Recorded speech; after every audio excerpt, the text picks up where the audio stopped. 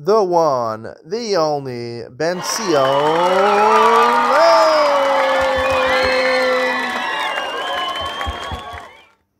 Okay, good evening and welcome to Yeshiva YouTube. Just Daf It. Today we're doing Nazir Daf Samach number 61. We're finishing the eighth parak. We started in the last parak, the ninth parak. I look at my glasses? Look okay? Some people probably don't realize I wear glasses. I don't really wear glasses. I need glasses. I wear contact lenses, but I'm hoping one day soon to get the LASIK surgery. Um, it's annoying to wear contacts also. All right, let's start. Samach Aleph and Aleph. Uh, the third line, two dash. Lech Nega. Bayirami Rachama. Hani arba tagli tigal chios. The four shavings. The kamar mishum mitzvah mishum ahure saratuma. Right, we mentioned in the last Mishnah on Daf Nun Tenamad Beis, we talked about an interesting case where you're a Safik Nazir and a Safik Mitzorah. You have to 120 days keep your Nazirus and shave your head at the end of every 30 days before you're allowed to completely be free of your absolved of your Nazirus shaving those head four times, is that mishum mitzvah, a that you have to do it? Normally when a nazir shaves his head, it has to be with a razor specifically. Or is the point just to get rid of his hair of tuma? And we'll see in a second what the nafkina why why that should be different. What what difference does that make? so what's the practical difference? Labure benasha to take off the hair with the lapatory cream, you know, or with an oracle shaver or anything that's not a razor, right? Technically, the mitzvah we learn many times in the Masech is a razor, by both by Masorah and a Nazir. If you say it's a mitzvah, it's a chiyuv, right, to end your Nazirus, so you have to do it with a razor. If it's just to get rid of your hair, technically you can just use the lapatory cream and just anyway you get rid of the hair. Now, if you think about this question, it's a little hard to understand this question because at the end of the day, it's all of these shavings are suffix whether you're ending your naziras both of tuma and tara. We learned earlier in the Masechet Daf Membeis, even for you know ending the naziras of tuma, you become tamei as a nazir and you have to shave your head. That's also with a razor. Many times in the Masechet you have to shave with a razor, so it's a suffix. So suffix the rice you have to shave with a razor. What kind of question is the Gemara asking over here? Because it's such a difficult problem. In footnote number two, over here, um, ArtScroll tries to come up with some explanation. They say out of the four shavings, we're only talking about the third out of the fourth. And technically, they're asking about any shaving of a Nazir Tame. Anyone's Nazir Tame, even Nazir Tame Bevadai, right? When he ends his Nazir Spatuma and he starts again the 30 days of Tara, right? Is that subject to a razor? Now, they point out the Gemara on Membez Amad Aleph 42a says that you have to do it with a razor. So they say that Gemara was only talking about after the resolution of our Gemara over here, or the Gemara is going to say in a second, that is Mishum Mitzvah. I am bothered by what the ArtScroll says over here. It's a very good question, but I have a very good answer also, and I don't believe you have to say the Gemara was only talking about the third of the fourth, and it can only and, can, and why is the Gemara asking over here? The Gemara is asking that Nazir Betuma anywhere else in the Masechta. Why over here? To resolve this question, I have a very unique take. Uh, makes a lot of sense to me. Sveik Sveika distinguish here. We really have a Sveik Sveika over if you think about it. A double suffix, suffix Nazir, suffix Masora. We'll talk about that in comparison to the Ian Benzion I gave on Daf Samich on, on Friday. Um, it'll be a good comparison between the two, and I think it's the correct answer. So the Gemara says Tashma, my Amarav Tashma Migaleach Arba Takalachios. It says in the Mishnah he shaves four times. Right if you say, let's say according to the ArtScroll's explanation, only time with the third one, so you should just be able to do it three times, right? Why say you have to shave? Tagalicho, it's to shave with a razor. You don't shave with the lapatory cream. You just put the cream on. Shmamina mishum mitzvah must be. It says it's four tagalachios, shavings. So obviously it has to be with a razor, and therefore mishum mitzvah shmamina. They all have to be with a razor. Hajralach shen We finished the eighth, very eight and nine problems, pretty good. Let's get on to the ninth parak. Akusim ein lahem nazirus. Kusim. The Gemara assumes the Kusim in our Mishnah are not Jewish people. Even the Gemara elsewhere says it's machlokas whether Kusim are Jewish people or not. They don't have nazirus. Nashim avodim yesh lahem nazirus. Nashim avodim they have. It's applicable nazir if an, a woman or an evid takes a nazirus upon himself. All the halachas of Naziris apply. Chomer benashim evadim, shu kovas avdo, ve'eno kovas ishto. If his Evet takes a Naziris upon himself, you could actually force him to break your his Naziris. Uh, a woman, your wife, you can't force her. The Gemara says, "Ksani akusim elham naziros menanimila." Where do you know this? It says at the beginning of Parsha of Naziros, speak to Bnei Yisrael. V'lolo of the. Bnei Yisrael, they're Jews. Of the are not Jews. So kusim are not Jews. The pasuk continues to say to them, which is extra. Why say to say to them? The Beres to say to them. An extra word. L'ravos avodim comes to include even slaves are subject to Naziros. Lamali cross. The Gemara immediately asks, why do the pasuk to include avodim? Amar kol sheisha chayavas ba eved chayav ba. The Gemara says many places that we learn gzera shava lala, right? Wherever wherever a woman is chayav, for example, mitzvah shalazman grama, they're not bound by time. Avodim knainim are also chayav in those mitzvahs. Why do you need a pasuk to include them? Amaro shiny hacha. The Amar kral asar Israel nafsho. One of the psukim by Shavuos and Naziros is to take an isser to, to bind yourself with a Naziros. It's only a person who could, who is his nefesh, his his soul is in his own hands. By an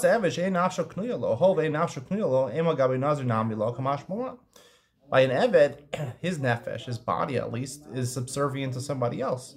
Like we said in the Mishnah, a, a, a Rav, a master, can force Eved to break his Nazirah. You might think there's no concept of Nazirah by Avodim, Kamash Malan, that's why the Pasuk adds them in. This is Avadim, also it's applicable in Nazir. They could become a Nazir. Amar Mar. So the Bryce said. Right? We excluded non-Jews and Kusim in the Mishnah because it says b'nei Yisrael, and they're not out of the chavim. The. Any anywhere in the Torah it says the word b'nei Yisrael, non-Jews are not included. Erechim, we have a different place by Erechim, dechsiv Dabra b'nei Yisrael It says, speak to Bnei Yisrael. Tanya Bnei Yisrael ma'arichem, ain't the chavim ma'arichem. Because parts of Erchin in the Torah, if you're not familiar with the Torah, Torah talks about Erchin, we'll learn in Seder Kodshim, Zechas Erchin. A person could donate, there's different ways of donating money to the base of Mikdash. One of the ways is saying the Erech of a person, I'm donating to the base of Mikdash. And the, and the end of Sefer Vayikra talks about the values that different people have. You know, whether you're, if you're a male between 20 and 60, you're the most valuable type of person. So your erech is worth, I think, 50 shkalim or something like that. Not that much money. So if you say the erech of this person, so Bnei Yisrael could make an erechin vow, right? And a non-Jew, if he says, a non-Jew says, I'm going to donate the value of this person to, to the base of Mikdash, it doesn't work. They can't do it. You might think they also can't um, be evaluated. Ish. It says ish. It says the word ish over there. It's just inclusive to tell you that even though they can't actually make a vow to the base of Hamikdash, but if a Jew were to say the value, the erich of a non-Jew between 20 and 60, he would have to give 50 shekel to the base Hamikdash. So here also, it happens to say Bnei Yishal, but also says the word ish by Nazir. So we should say also by a Nazir, like we'll, we'll explain this a little more in detail on Samach Aleph and base, we should in, in ish that Nazir should be a complete Nazir. He should Daber Bnei Israel, Bnei Israel are complete Nazir, and they bring korbanos. They're the the of Naziris apply to them, and they bring korbanos at the Naziris. But um, a non-Jew, he should at least become a Nazir partially. The Yisurim should apply to him. He just should never bring the korbanos at the end. The shiny hachad amrakra here, you can't include them at all. Avivul imo lo yitama. It says a Nazir, can't be Tameh for his father or mother. Mishi Yeshlo Av. It only Naziris, the whole concept Naziris at all is only applicable to someone who has a father. That's how they call him Shein. Oh, they call in most halachas, they don't have a father. Lamai, what does it mean they don't have a father? They're in Yerusha, that non-Jews don't have Yerusha from a father. Usually you inherit from your father. Amar Rabbi Bar Avin, Amar Yochanan, Ovid Kachavim Yorish Zaviv. Dvar Torah, Mido Raisa. A non-Jew inherits his father. Shenem, or even according to Torah, Kirusha Asa Natati is Har Seir, right? Asa was apparently not Jewish. So Asa, Asa gave Har Seir. They had an inheritance. They passed it down from generation to generation. In the mountain of Seir. So they have Yerusha. El Misha Muzar al Kibbut Aviv. So they're learning from the Pasuk. It says La Aviv Imo. La Aviv, someone who the mitzvah of Kibbut Av applies to them. Misha Ksiv, right? Non-Jews are not, they only have Zion mitzvah enough. They don't have the mitzvah of Kibbut Av Aim. So the Gemara refutes that. The Gemara says, Miksiv Kabeda vicha benazir. It doesn't say aviv. It says for father and mother yitama. It doesn't say anything about kibudov. Elam akral avil imo lo yitama. Tuma. It has to be someone who tuma is relevant to. He also lo tuma. Top of base. Non-Jews, there's no concept of tuma and tara by yodid chavim. Mishayin lo tuma minal. And how do you know that's true? That a non-Jew can't become tama if he touches a corpse. Delays the tuma. How do you know that's tuma? Amar krav isha share yitama v'lo yischata. This is part, talking about the parsha of para duma. We had a couple weeks ago, parsha's para. He becomes tamek and he doesn't get the the water, the may para sprinkled on him. He gets kares. If you're going based on English, right? Part of the pasuk, someone who has a congregation. He also says they might go to the church, but they don't really have a congregation. they don't have the best congregation, Jewish congregation. it's the best congregation. In my where it says Dilma kares about itmuya mitzvah, where it says maybe all the pasuk is telling you they don't have kares right? If they become tummy, maybe they do actually become tummy. They just if they go to the Mason Mikdash, not they're not chayav kares. Amakra, v'hiza hator al tummy. That parsha it says the tor person sprinkles on the tummy, right? The person who's Torah sprinkles the par on the tummy person. And there's a connection. Torah and tummy are connected. At the juxtaposition of the pasuk. Kol sheyeshlo tara yeshlo tuma. Kol she'en tara lo tuma. Right? A non-Jew doesn't have a concept of tara of becoming Torah. So therefore, he has tuma doesn't apply to him. A Jew who, who has a concept of tara has tuma. Vema tarud lahavile tuma havile. So says still, who, who says it's a good juxtaposition? Just if he said Torah latame, who says it's a comparison between the Torah and the Tummy? Maybe he, he doesn't have tara, right? There's no way. The, the reason he doesn't have tara is because the whole may para. It says in the parsha of para that it's talking about the Bnei Yisrael that you're you're sprinkling them with the may para. It wasn't given to non-Jews, but tuma maybe does have to transmit this to a Jew. That's what would be relevant for. Eh, Amar Krav Ish Asher Yitam Right? It says a man who becomes Tamar Lo Yischata doesn't become Tor. He doesn't get the, the Maypar sprinkle on himself. This is definitely a juxtaposition. Yitam Lo Yischata is part of the same phrase. So therefore, if they don't have Tara, which they don't, they're not part of Paraduma, so therefore they don't have Tuma. So that's one answer. He can try to give a different answer, a different source. Shiny Hacha, the reason we don't say Ish, right? That was the question, right? Even though it says, oh, Be'er B'nai Israel, to exclude all the Gechavim, we should include them partially in the Zerus because of the word Ish. Rav Yaakov says, Shiny Hacha Damakrav, Nisachaltem Osam V'nechem Acharecha. Kol sheyesh lo nachal lo yesh lo tumo. Kol she'en lo nachal ein lo tumo. It's in the pasuk. La'avi yitama. So one of the suggestions before, who has a father? A father for what? For for inheritance, right? So before we said, wait a second, non-Jews have inheritance also. But do they have complete inheritance? Rav Yaakov is changing the game now. He's saying, yes, inheritance applies to most things from one non-Jew to his son, but does it apply for being Morish over the um, Avadim Knainim? That's what the Pasuk is talking about. That a father is Yore, is Morish, his Avadim Knainim to his son. He has a complete nachala, right? All the Chavim are not going to be morish avad and knainim to their to their sons. Only other possessions. He doesn't have tuma. If that's true, then avadim also shouldn't be part of the zeros, because avadim also can't be morish other avadim to their. If they avadim own avadim knainim, they can't be to their sons. It's only Jews that could do that. A full Jew. El Rava Bishlam Erchin. Right. The reason you don't say ish Darshani to include Nazirim over by and Shneimar Bnei Israel, Bnei Israel, Marichin, Vein of the Chavim Marichin, Yachol Yarachin, Hamal Ish. Ish. It says Ish to tell you that they are included partially in Erichin, right? That if a Jew pledges the Erech of a non-Jew, it's valid.